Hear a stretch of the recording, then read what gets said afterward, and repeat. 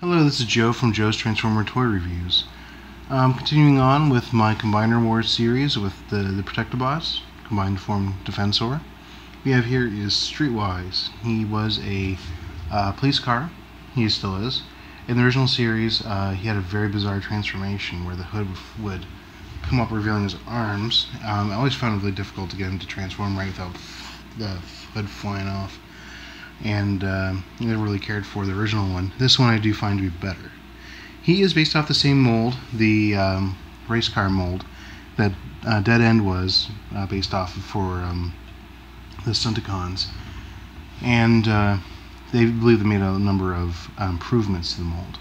I've seen comments where they said that this mold was initially designed for uh, Prowl and Mind, this Mind, this um, modified version of it I guess, but I don't really honestly see any problem.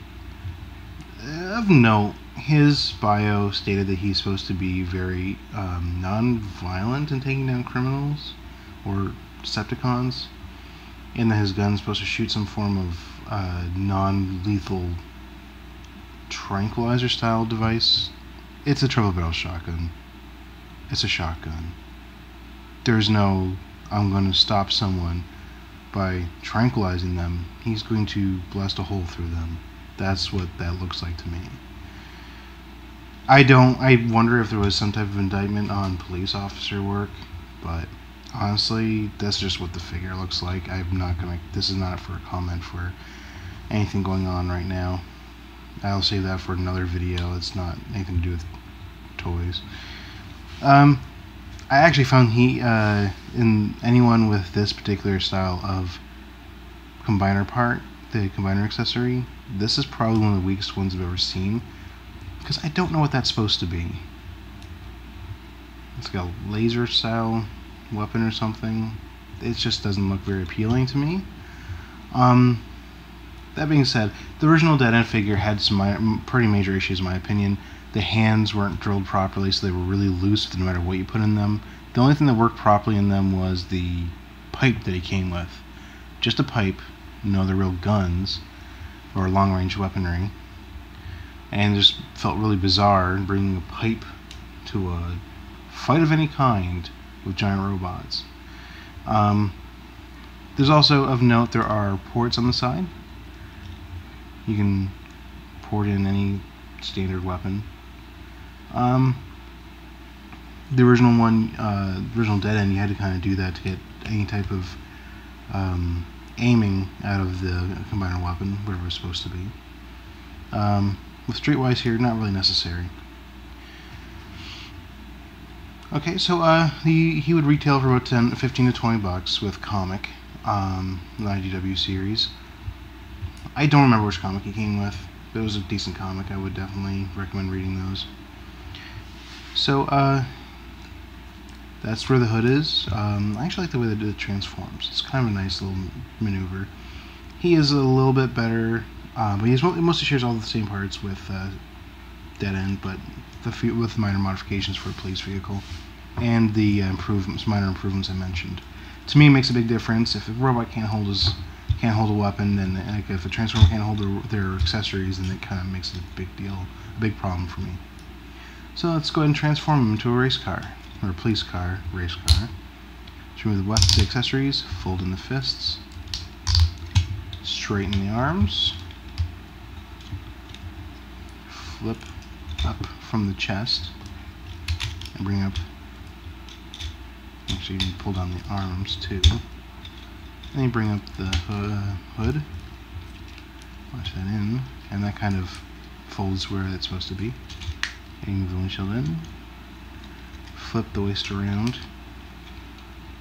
line it, or connect it, flip up the portion there that goes underneath the car, flip this over, and pull it down.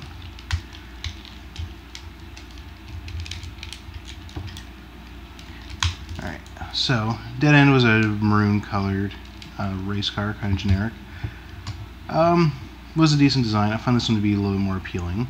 The place look, the white, I do find to be a little bit more not appropriate, but a little more appealing, I guess. And you can put the weapon on top and the gun on the side. flip that around if you want. Make look he's using it as he's driving around. Not the best interaction with his tools, the gun and combiner accessory. That's the biggest. I find to be one of the biggest uh, negatives for him. It just that's no real way to interact with that tool. So let's do the transformation into a leg. Remove both parts. Flip out the thumb, or the heel, I guess, in this case. Connect it here. Now he did actually, uh, Streetwise here, was actually supposed to be the right or left leg, I don't remember, but he was canon, canon one of the legs. So, this is strongest point. Bring the windshield, fold this whole assembly, do not unfold the head. You can get the whole thing to move and flip oh, on itself. There's a way to get this to flip a little more neatly, but that's generally how it's supposed to look. There we go. Let me just flip this up.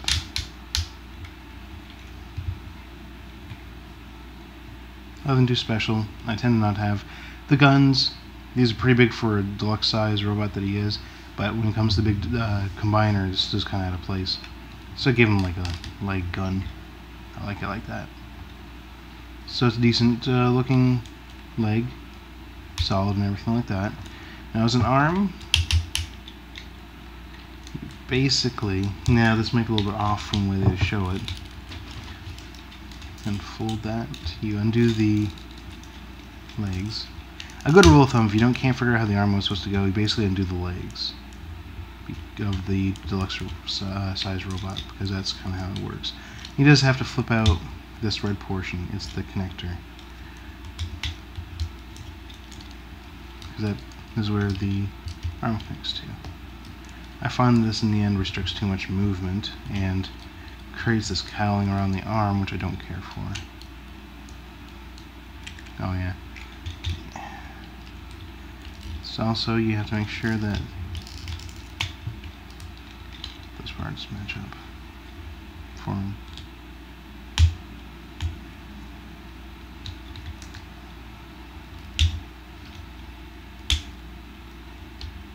So out the hand the usual stuff that's how the arm would work. It's a decent arm.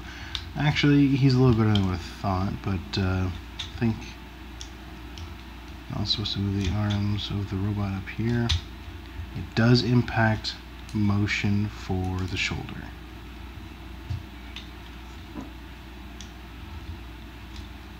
That's canon. Um, not a big fan of using it as an arm, to be fair.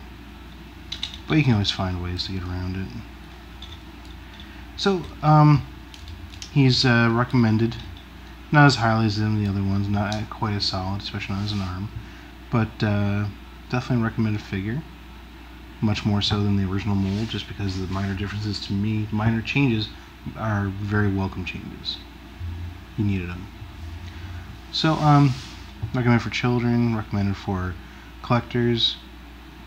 Um, feel is a good character. Good figure. Um, so that is it. If you have any questions or comments, please leave them down below on YouTube. Um, please like or subscribe to the video.